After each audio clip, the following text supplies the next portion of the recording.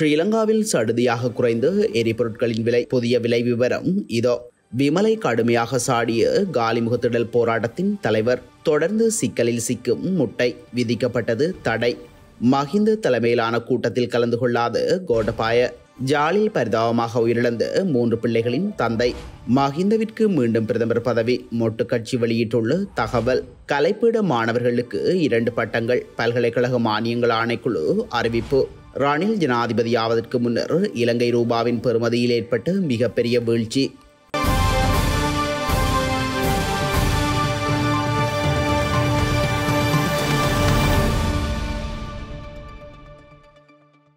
நேற்று நள்ளிரவு முதல் நடைமுறைக்கு வரும் வகையில் எரிபொருளின் விலையில் திருத்தம் மேற்கொள்ளப்பட்டுள்ளது. இதனை இலங்கை பெட்ரோலிய கூட்டுத்தாபனம் அறிவித்துள்ளது. இதன்படி ஒக்டேன் தொன்னூற்றி இரண்டு ரக பெட்ரோலின் விலை ஏழு ரூபாவால் குறைக்க தீர்மானிக்கப்பட்டுள்ளது. இந்த புதிய விலை திருத்தத்திற்கு அமைவாக பெட்ரோல் ஒரு லிட்டரின் புதிய விலை முன்னூற்றி முப்பத்து மூன்று ரூபாவாக குறைக்கப்பட்டுள்ளது.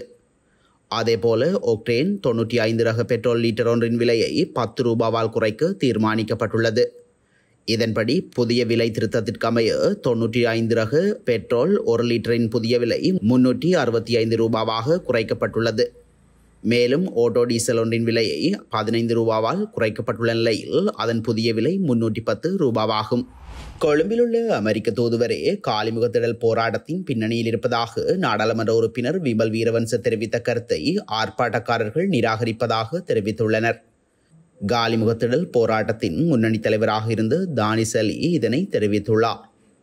கொழும்பில் இடம்பெற்ற ஊடகவியலாளர் சந்திப்பில் கலந்து கொண்டு கருத்து தெரிவிக்கும் போதே அவர் மேற்கண்டவாறு கூறியுள்ளார். இவ்விடயம் தொடர்பில் அவர் மேலும் கூறுகையில் பிமல் வீரவன்ச மீண்டும் சீன தூதுவருடன் இணைந்து விசித்திரமான ஆட்டத்தை ஆரம்பித்துள்ளார். பிமல் என்பது எங்களுக்கு ஒரு ஜோகர். கோட்டபாய போவதற்கு முன்னர் நாம் பாய்ந்து விட வேண்டும் என்று மெல்லமாய் பாய்ந்தவர்தான் விமல். மோசமான அமெரிக்கர் என்று ஒரு கதையை பசிலுக்கு பரப்பியவர் விமல்தான் மீண்டும் இன்னும் ஒரு சுற்றில் அமெரிக்க தூதுவர் கதையினை பேசுகின்றார். விமல் அவரது புத்தக வெளியீட்டுக்கு சீனாவின் முன்னாள் தூதுவர் ஹீவை பக்கத்தில் அமர்த்தியுள்ளார். எல்லா உத்தரலங்கா சபையின் கூட்டங்களுக்கும் ஹி கட்டாயம் வருவார் என அவர் மேலும் சுட்டிக்காட்டியுள்ளார். சில்லறை வர்த்தக நிலையங்களுக்கு இறக்குமதி முட்டை விநியோகிக்க அனுமதி வழங்கப்படவில்லை என்று விவசாய அமைச்சு தெரிவித்துள்ளது. தற்போது பேக்கரி தொழில்துறைக்காக மாத்திரம் பயன்படுத்தப்படும் முட்டை சில்லறை வர்த்தகத்திற்கு விநியோகிப்பதற்கு அனுமதி வழங்கப்பட்டுள்ளதாக அறிவிக்கப்பட்டுள்ளது. இதற்கான அனுமதி வழங்குமாறு முட்டை விற்பனையாளர்கள் முன்வைத்த கோரிக்கை விவசாய அமைச்சினால் நிராகரிக்கப்பட்டுள்ளது. தற்போது விடுக்கப்பட்டுள்ள வழிகாட்டல்களில் திருத்தங்கள் மேற்கொள்ளப்பட்ட பின்னர் இதற்கு அனுமதி வழங்குவதற்கு கால்நடை உற்பத்தியாளர் திணைக்களம் எதிர்பார்த்துள்ளது. ஸ்ரீலங்கா பொதுஜன பெரமுனவின் மே தின கூட்டத்தில் முன்னாள் ஜனாதிபதி கோடபாய ராஜபக்ச கலந்து கொள்ள மாட்டார் என நாடாளுமன்ற உறுப்பினர் மஹிந்தானந்த அழுத்கமகே தெரிவித்துள்ளார். இந்த பேரணி கட்சியின் தலைவரான முன்னாள் பிரதமர் மஹிந்த ராஜபக்ச தலைமையில் இடம்பெற உள்ளதாக அழுத்கமகே தெரிவித்துள்ளார். இதேவேளை இந்த நிகழ்வில் கோடபாய ராஜபக்ச கலந்து கொள்ள மாட்டார் எனவும் அவர் தெரிவித்துள்ளார். இந்த பேரணிக்கு ஜனாதிபதி ரணில் விக்ரமசிங்கவிற்கு அழைப்பு விடுக்கப்பட்டாலும் அவர் கலந்து கொள்ளாமல் பேரணியில் வாசிக்குமாறு செய்தியொன்றை அனுப்புவதாகவும் அவர் மேலும் கூறியுள்ளார்.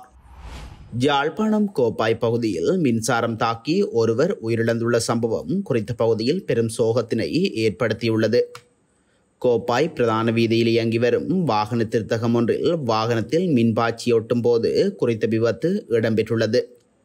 ஜாழ்ப்பாணம் ஆதிசூடி வீதியைச் சேர்ந்த மூன்று பிள்ளைகளின் தந்தையான செல்வராசா சுஜிதரன் வயது நாற்பது என்பவரே உயிரிழந்துள்ளார்.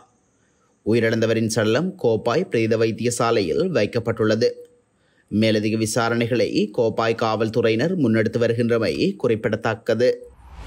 மஹிந்த ராஜபக்சவை மீண்டும் பிரதமராக நியமிக்கும் யோசனை எதிர்க்கட்சிகளின் திட்டமிட்டு பொய் பிரச்சாரம் என கட்சியின் செயலாளர் சாகர காரியவசம் தெரிவித்துள்ளார். கொழும்பில் இடம்பெற்ற ஊடக சந்திப்பில் மஹிந்த ராஜபக்சவை பிரதமராக்குவதற்கு கட்சியிலிருந்து முன்மொழிவு வந்துள்ளதா என ஊடகவியலாளர்கள் கேள்வி எழுப்பியுள்ளனர். இதற்கு பதிலளிக்கும் போதே அவர் மேற்கண்டவாறு தெரிவித்துள்ளார். அவர் மேலும் கூறுகையில் மஹிந்த ராஜபக்சவை மீண்டும் பிரதமராக நியமிக்கும் யோசனை என்பது எதிர்க்கட்சிகளின் வதந்தியாகும். எதிர்க்கட்சியினர் பொய்யான தகவல்களை உருவாக்குகின்றார்கள். இருப்பினும் நாங்கள் ஒரு கட்சியாக மிகவும் வலுவாக செயல்படுகின்றோம். அமைச்சரவை திருத்தங்கள் என்பது அதிபருக்கு சொந்தமான விடயம் என்பதால் கட்சி எனும் ரீதியில் நாங்கள் குறித்த விடயத்தில் தலையிட மாட்டோம். அப்படிப்பட்ட யோசனைகளும் எம்மிடமில்லை. மஹிந்த ராஜபக்சவை மீண்டும் பிரதமராக்க வேண்டும் என்பது எதிர்க்கட்சிகள் சொல்வது போலில்லை. கட்சியிலிருந்து மக்கள் பலத்துடன் அதை சரியாக செய்வோம். இவ்வாறு சாகர காரியவசம் தெரிவித்துள்ளார். பல்கலைக்கழகங்களில் கலைப்பீடங்களில் சேரும் மாணவர்களுக்கு எதிர்வரும் வருடம் முதல் இரண்டு பட்டங்கள் வழங்கப்பட உள்ளதாக பல்கலைக்கழக மானியங்கள் ஆணைக்குழு தெரிவித்துள்ளது. கலைப்பட்ட படிப்புக்கு மேலதிகமாக தொழில்நுட்பம் மற்றும் கணனி விஞ்ஞானம் ஆகிய பாடங்களில் பட்டம் பெறுவதற்கான வாய்ப்பும் மாணவர்களுக்கு கிடைக்கும் என அதன் தலைவர் பேராசிரியர் சம்பத் அமரதுங்கு தெரிவித்துள்ளார்.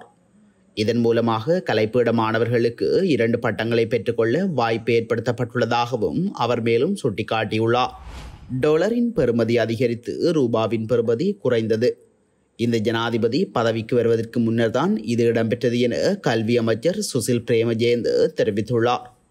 கடந்த வாரம் இடம்பெற்ற நாடாளுமன்ற விவாதம் ஒன்றின் போது அமைச்சர் மேற்கண்டவாறு குறிப்பிட்டுள்ளார். அவர் தொடர்ந்தும் தெரிவிக்கையில் எமது நாடு வாங்குரோத்து நிலையினை அடைந்த பின்னர் அனைத்து நாடுகளும் கடன் வழங்குவதை நிறுத்திவிட்டன. சர்வதேச நாணய நிதியத்திற்கு செல்வது தொடர்பில் பல்வேறு மாற்றமான கருத்துக்கள் உள்ளன. எனினும் பணப்பிரச்சனை இருக்குமானால் நாம் கடன் பெற வேண்டியுள்ளது. அந்த கடனை எமக்கு வேண்டிய முறையில் வழங்க மாட்டார்கள். எனவே நாம் சில தியாகங்களை செய்யவே வேண்டும். டொலரின் பெறுமதி அதிகரித்து ரூபாவின் பெறுமதி குறைந்தது. டொலரின் பெறுமதி அதிகரித்து ரூபாவின் பெறுமதி குறைந்தது இந்த ஜனாதிபதி பதவிக்கு வருவதற்கு முன்னராகும். முன்னாள் ஜனாதிபதியால் பொருளாதார முகாமைத்துவத்தை செய்து கொள்ள முடியாமல் போனது. எம்மால் இப்போது பிரபலமான தீர்மானங்களை மேற்கொள்ள முடியாது என அவர் மேலும் குறிப்பிட்டுள்ளார்.